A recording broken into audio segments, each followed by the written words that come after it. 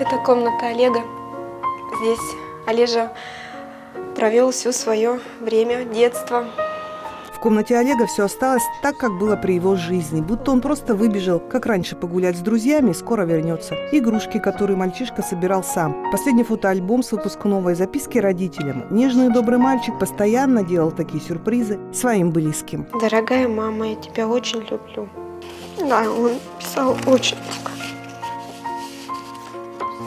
Олег как будто торопился жить. Душа компании, самостоятельно научился в музыкальной школе, плавал, занимался поделками и рисованием. Девять месяцев назад Олегу поставили страшный диагноз – остеосаркома плечевого сустава четвертой степени. И началась борьба за жизнь. Десять сеансов высокодозной химиотерапии не улучшили состояние. Родители хватались за все соломинки. Помогло лечение в Китае. Потом опять ухудшение. И снова поездка в клинику Харбина. И там уже констатировали легкие у ребенка сплошные метастазы. Чтобы вернуть мальчишку домой в Соснооборск, потребовались невероятные усилия обращения к Астахову и Шойгу. Никто не хотел брать на борт ребенка, который уже не мог самостоятельно дышать. После возвращения Олег прожил еще 9 дней. Последние его слова «Мама, за меня не переживай, я ухожу к Боженьке, а ты помогай теперь таким, как я». Говорил о том, что Боженька, если ты меня исцелишь, я буду помогать всем-всем деткам и людям, которые во мне будут нуждаться, потому что мне сейчас помогают, за меня сейчас молятся. Я также буду ходить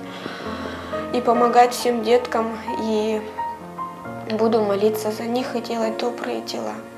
Узнав, что у хосписа проблемы с концентраторами, родители Олега сразу же решили отдать аппарат, который поддерживал жизнь сына последние дни. Сын бы одобрил. Да эти люди-то знают точно, что в наше время бороться с болезнями, увы, можно только всем миром. На лечение Олега тогда собирали деньги тысячи незнакомых людей, проводили благотворительные концерты, просто молились и поддерживали морально.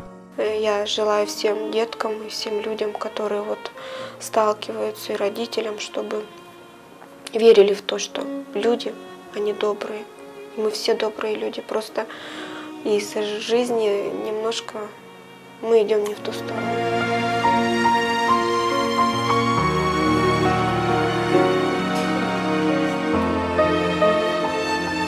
Огромное спасибо. Очень признательны людям, что с чуткостью, можно сказать, относятся к проблемам, пускай бюджетного учреждения, но, по крайней мере, прежде всего к пациентам. Сейчас он радуется. Он там без боли.